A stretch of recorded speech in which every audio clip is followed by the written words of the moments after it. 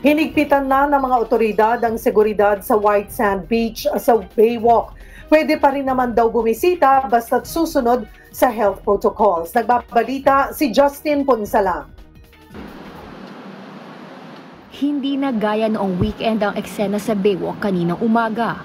Walang siksikan at kakaunti na ang bumibisita. Karamihan na sumilip sa White Sand Beach, joggers at siklistang dumadaan sa lugar. Aminado silang na-curious sa kontrobersyal na Dolomite Sand at gusto rin nilang makiisa sa hashtag Manila Bay Challenge. para po makakita yung ano, Boracay. Trending kasi ito eh. Trending. Ayun, kaya gusto makita.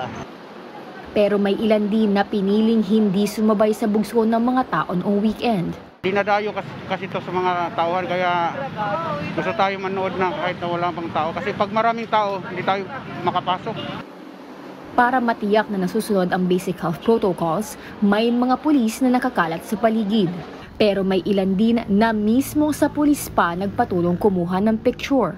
Sa pila pa lamang ipinatutupad na ang social distancing. Pagdating sa taas ng footbridge, limitado lamang sa apat na tao ang pwedeng sabay-sabay na kumuha ng litrato. Hindi na sila pwedeng magtagal.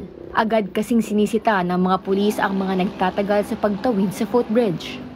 Paliwanag ng Ermita Police Station, hindi naman pinagbabawalan ang mga tao na kumuha ng litrato sa footbridge dahil ito ay pampublikong lugar. Ang ipinagbabawal lamang anya ay ang pagkukumpol-kumpol ng mga grupo habang nagpipicture dahil paglabag ito sa health protocols. Para sa 1PH, Justine Punsalang, News 5.